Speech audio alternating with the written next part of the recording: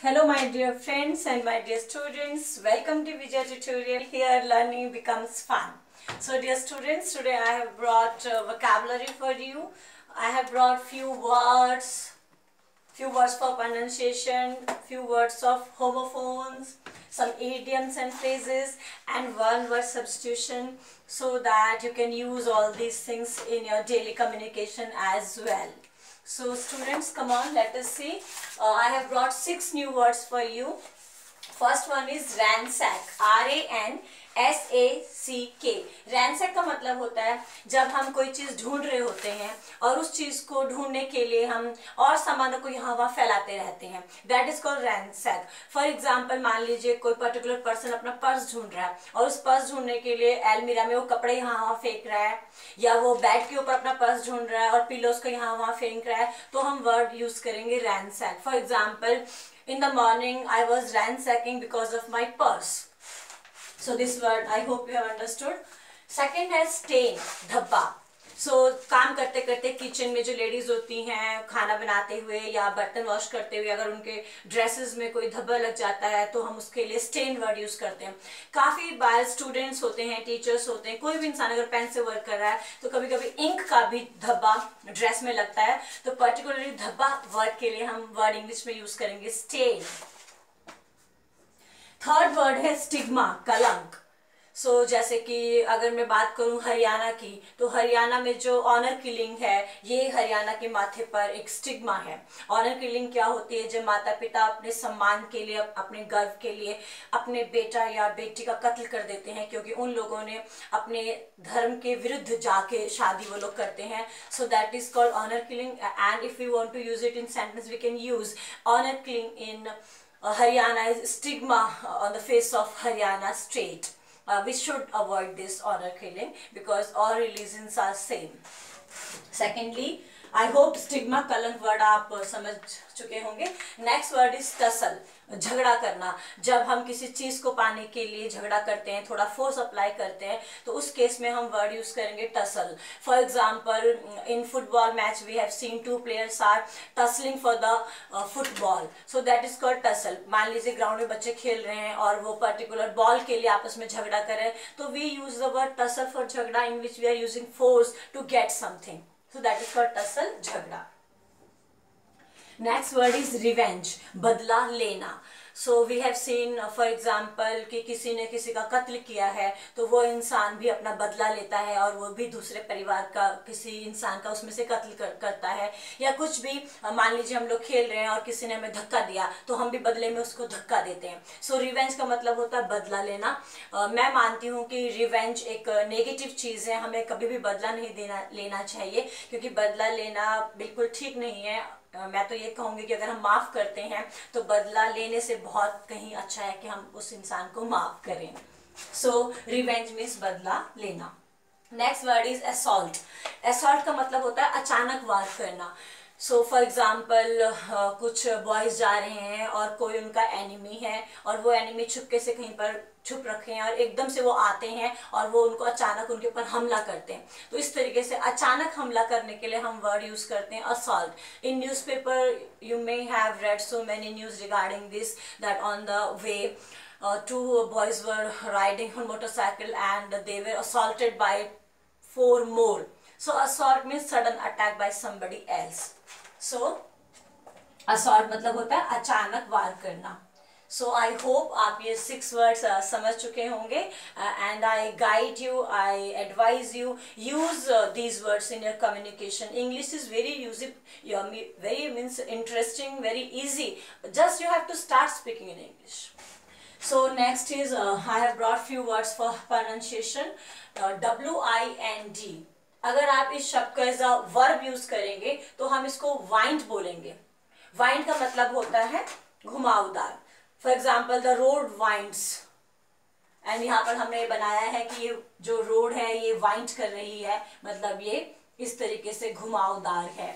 So we can say be careful the road winds a lot in this particular area. So drive carefully. Next अगर हम इस uh, अगर W I N D as a noun हमें use करना है तो हम इसको विंड प्रोनाउंस करेंगे। एंड मैं समझती हूँ विंड तो आप सब लोगों को पता होगा। विंड का मतलब हवा। So nowadays in this winter season, we can feel a lot of wind. And in summer season, we all desire wind, but we are not able to feel this pleasant wind in summer season. So uh, next word is W-O-U-N-D. W O U N D. अगर आप इसको as a verb use करेंगे तो it will be wound जैसे I am playing and I get wounded so play carefully you will get wounded so uh, this is a second form but in first form we use it as wound injure चोट लगना secondly W O U N D अगर इस word को आप as a noun use करें तो आप इसको प्रोनाउंस कीजिएगा वोट एंड इट मीन्स जख्मी. The person who is injured और the particular area which is injured so we will for that particular area which is injured we will use the word wound जैसे take care of your wound अपने जख्मी area का जख्मी हिस्से का ध्यान रखेगा so then it is called wound spelling is same it is just pronunciation wise pronunciation is different spelling is same few homophones first word is pupil pupil के दो मतलब होते हैं. One is part of an eye हमारी आँख में कोई particular part होता है इंटरनली आँख का कोई पर्टिकुलर पार्ट है जिसे हम प्यूपिल कहते हैं। सेकेंडली प्यूपिल का मतलब होता है स्टूडेंट हाँ यस स्टूडेंट के लिए भी हम प्यूपिल वर्ड यूज़ करते हैं। सेकेंडली वर्ड है school I know, you very well know, everybody knows, school is educational body, means Hindi में हम इसे विद्यालय कहते हैं and uh, school, uh, is the best place in the world.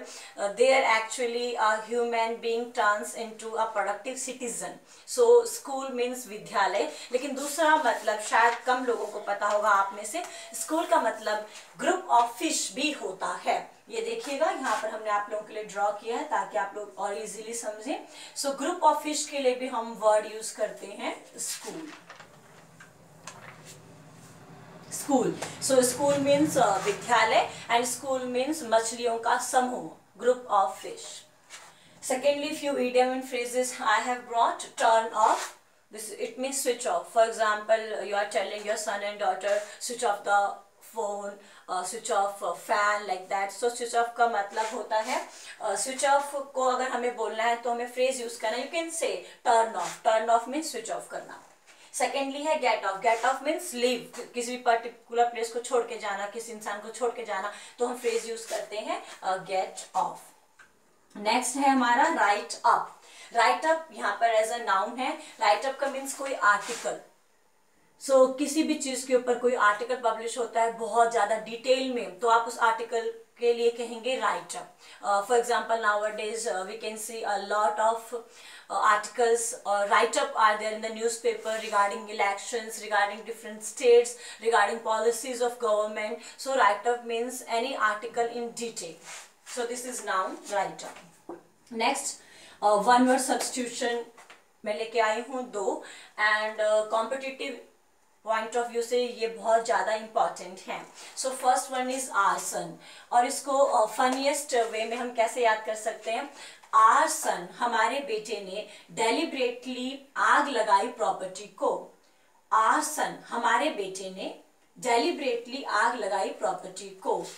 Are हमारे सन बेटे ने हमारे सन बेटे ने डेलिब्रेटली आग लगाई property go. So arson deliberately set fire to property. So, the meaning of arson is deliberately set fire to property जानबूझकर जब हम पब्लिक प्रॉपर्टी को जलाएँगे तो हम वर्ड यूज़ करेंगे arson so this is very important it comes in exams and so please take care of this one word substitution next one is alimony alimony means हम इसको फनीस्ट वे में ऐसे याद कर सकते हैं। Ali.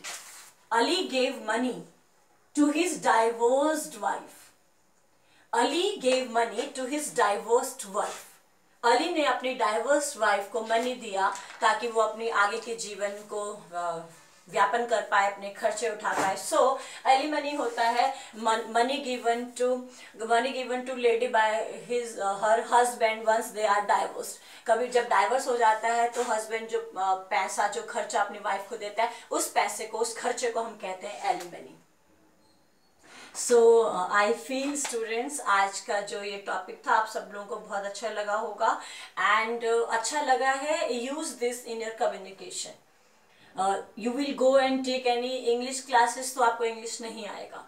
To speak in English you I mean to be fluent in English you have to use English let it be wrong at least try maybe somebody is then around you who will correct you but you have to begin so don't get late the sooner you will start the more fluent you will be in life and uh, I would like to say uh, subscribe the channel. If you have not done uh, you will repent on this.